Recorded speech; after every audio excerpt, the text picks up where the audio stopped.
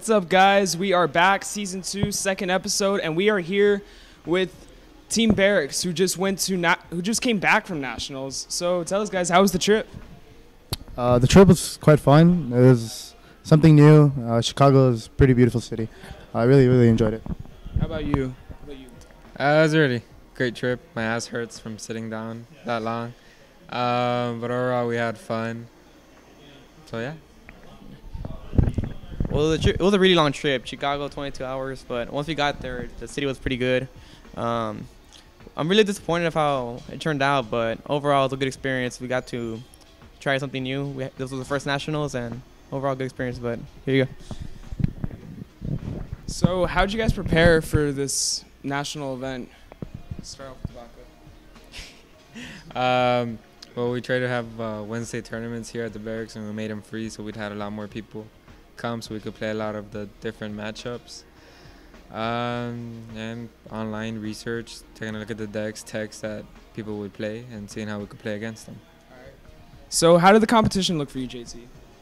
Uh, I was hoping to play a lot of mirror match, but it didn't happen, unfortunately.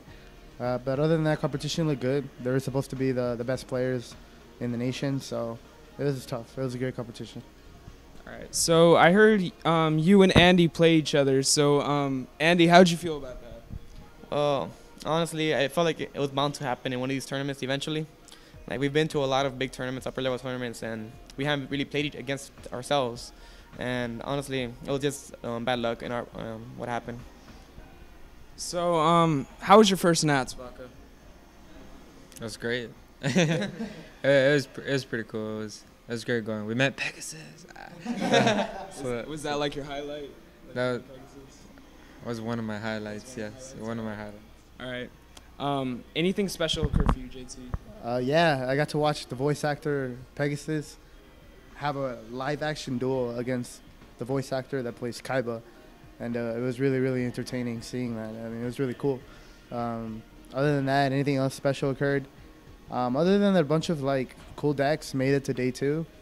That was pretty much my highlight. It was awesome seeing that. That was pretty cool.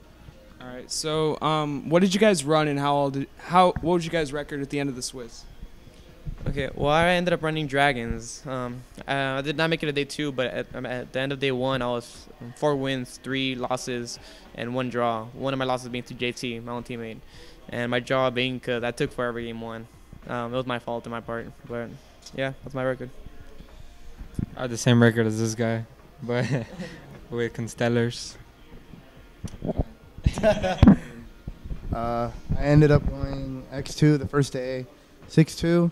Uh, I made the t- the day two cut, made it to day two, had to show up right after. Like I only got like six hours of sleep.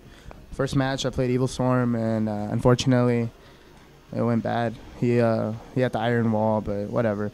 Um, I stayed in the tournament, and I didn't want to drop, so my duel after that was a no-show, so I got a free win. And my last duel was a mirror match, and I came out with a win. And all I could, all I did was hope that I made top 64, but too many draws and didn't make it. so uh, my final ranking was 118th. 118th. That's that's great. Um, now, any future plans for you guys? We'll start with Vaca. Like sit after this Nats, what, what are you guys expecting now? Uh, Spellbooks and Dragons to get raped by the ban list, pretty much. and um, I don't know, just put in more time towards play testing, and hopefully we'll do better next time. Well, the ban list is bound to hit Spellbooks and Dragons, but I feel like I might still end up running Dragons. If not, I have a, a couple other decks in mind. Um, but honestly, we can't really tell right now until after September. And JT. Uh, future plans. Uh, right now it's off season, so for me it's just lay back, chill, have fun. Um, watch. Uh, I'm gonna pay attention to the next six, the new archetypes that are come out for the new meta, to see if any of these new archetypes are gonna make it to the national season, and if they do, well, that's what I'm gonna prepare for. But for these six months, I'm gonna kick back, uh, catch up with some fighting games. I have a huge fighting game tournament coming up, and uh, just analyze the meta to see what's gonna happen for ne- for next national season. Um, anything else you guys would like to add to to it? Anything else you guys like to say to your fans out there? Anything like that? Sorry we didn't top. That's it. That's all. Yeah. Nothing really. We're just really disappointed how it ended up turning out, but yeah, it happens. It's You it's guys Yu-Gi-Oh. did- You guys did your best, man. Um, I'm sorry I didn't top.